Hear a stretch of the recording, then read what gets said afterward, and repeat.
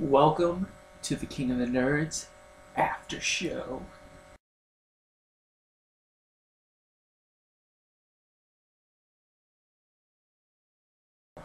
I'm your host, Edward Crane. So Nirvana, ah, so Nirvana has opened up to 11 nerds, and honestly, I thought the new Nirvana was pretty cool. I mean, it looked like an awesome playpen for all the nerds, especially the Radio Shack room with the TARDIS, which is badass. Let me just say that it's like it's so nerdy, but it's so cool.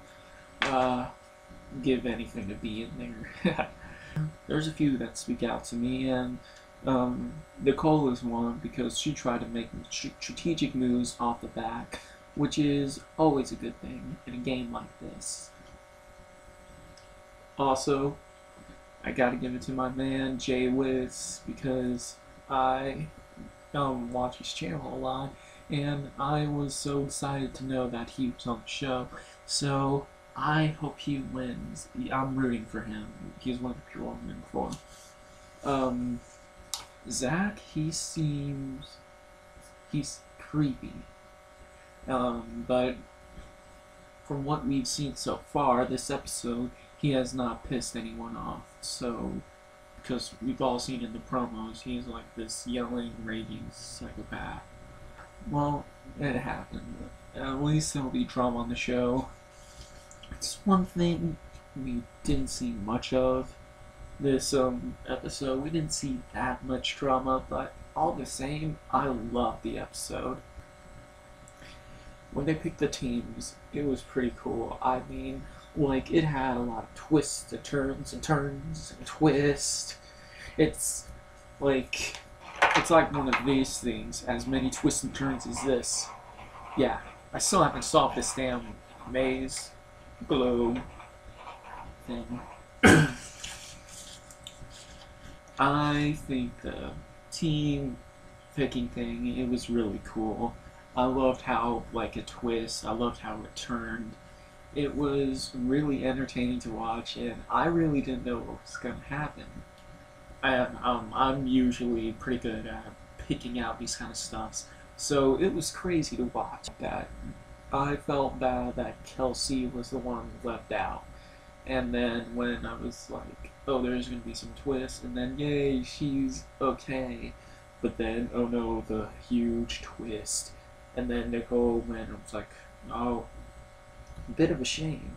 And then another twist, like, so many twists. It's like Inception all over again. team Midas Touch Attack, it looks like they're going to be a good team. They seem pretty in unison right now and uh, hopefully they will get their stuff together and when Zach goes all ballistic.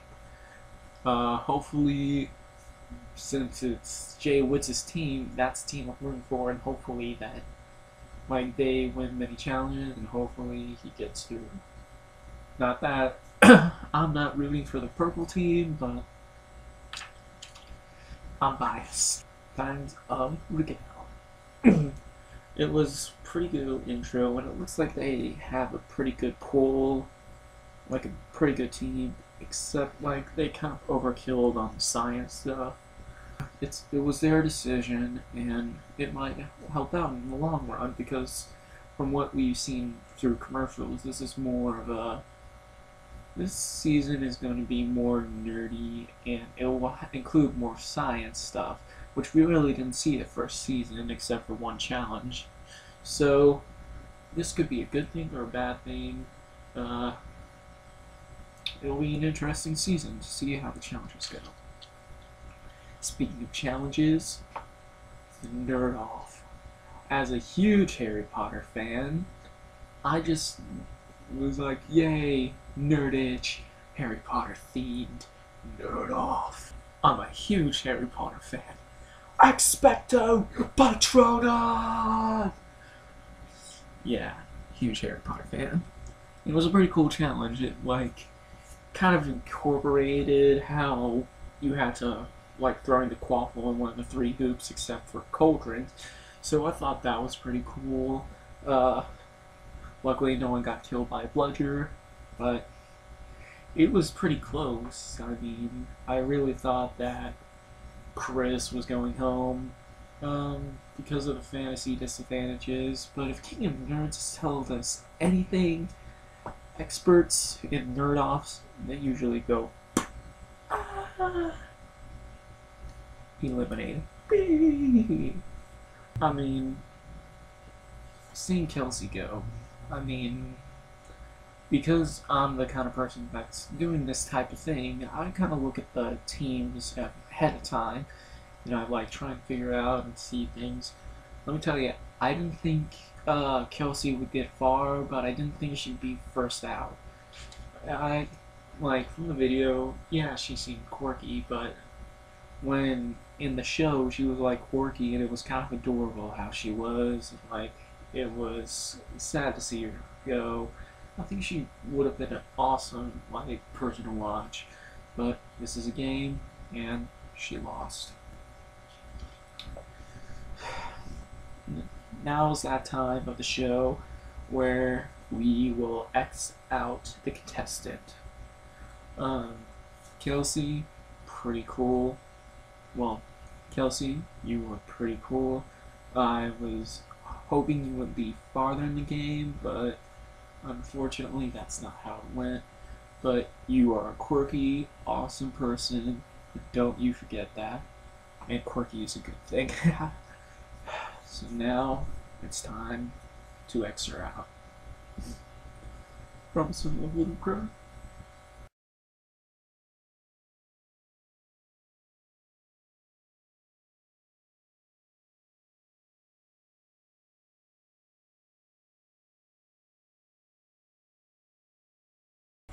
Okay, so who I'm rooting for. I kind of mentioned it earlier in the video that I was rooting for JWittz. So who I'm rooting for this season? Obviously JWittz, because I watched him on YouTube, I'm watching on here, so it's a given I'll be watching him. Uh, also, Katie, because she obvious fan favorite, and I think she may get far. She's in a way like the Ivan of this season who will be pretty cool to watch, and I think she, um, like I said, gonna be a favorite. Also, Nicole, because she made pretty big strategic move, one that almost that could have cost her the game if it wasn't for that extra twist. But I applaud her for doing it. Big moves, better season. Um, also, I think Mary Kate has something up her sleeve.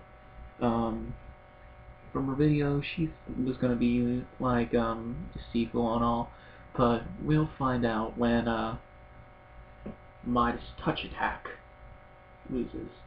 Hopefully that will be for a while because JWittz for the win.